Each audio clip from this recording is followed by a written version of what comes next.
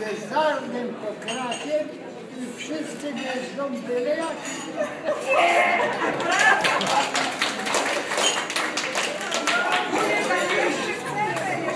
Do widzenia.